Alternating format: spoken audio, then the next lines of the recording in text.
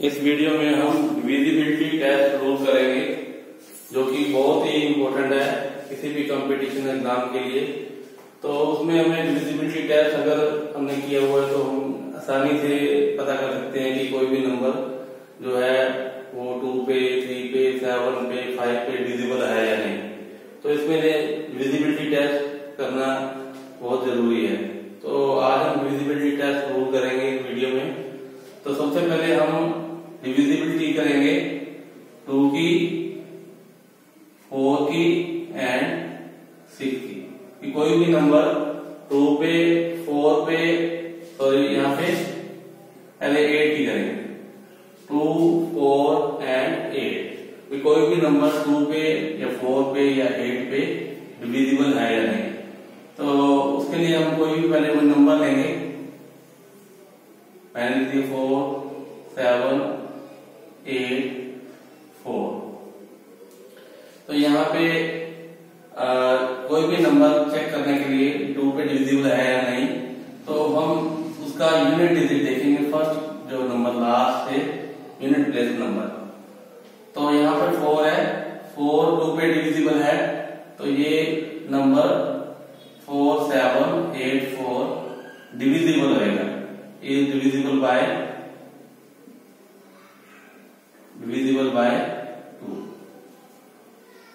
और फोर की चेक करने के लिए तो लास्ट टू डिजिट देखने हमें। लास्ट टू डिजिट से नंबर बनता है eighty four eighty four four के टेबल पे डिवाइड होता है। फोर टू द एट और फोर फोर फोर तो ये भी नंबर डिविजिबल रहेगा किससे? फोर से।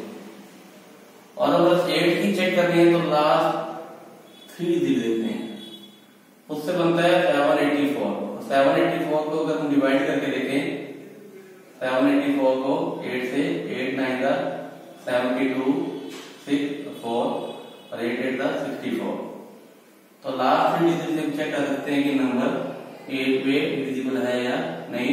तो ये नंबर भी डिविजिबल है एट इतना हमने टू फोर और एट की डिविजिबिलिटी चेक कर सकते हैं. उसी तरह डिविजिबिलिटी कैसे चेक करेंगे? थ्री एंड नाइन अब कोई नंबर लेंगे जिसमें हमने थ्री की डिविजिबिलिटी चेक करनी है या नाइन की चेक करनी है। तो मैं कोई नंबर ले रहा हूँ।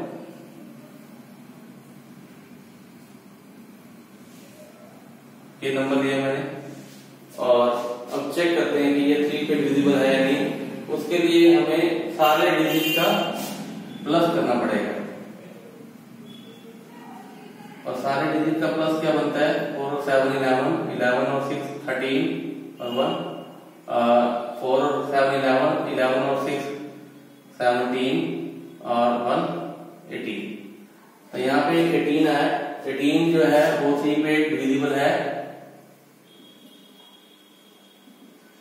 Eighteen is divisible by three so this number divisible by three same है नाइन्थ की भी नाइन्थ की भी डिविजिबिलिटी ऐसे चेक कर सकते हैं कि इसका सम चेक करेंगे। अगर जो सम आया, वो नाइन पे डिविजिबल है तो ये नंबर नाइन पे डिविजिबल भी होएगा। तो यहाँ पे एटीन आया एटीन जो है सम नाइन पे भी आता है तो ये नंबर डिविजिबल रहेगा। डिविजिबल बाय बाय नाइन लेकिन ये हर केस में पॉसिबल नहीं होगा कुछ एक केस में ये पॉसिबल होगा कोई नंबर थ्री पे आता है तो ज़रूरी नहीं है वो नाइन पे आए, लेकिन विजिबिलिटी टेस्ट दोनों का सेम है। ठीक है?